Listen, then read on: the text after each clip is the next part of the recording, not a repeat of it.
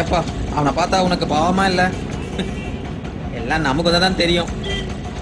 ஏப்பா ஒரு நாளைக்கு இரநூறுவா சம்பாதிப்பியா? அதில் ஒரு ரூபா போட்டு நான் குறைஞ்சா போயிடுவேன்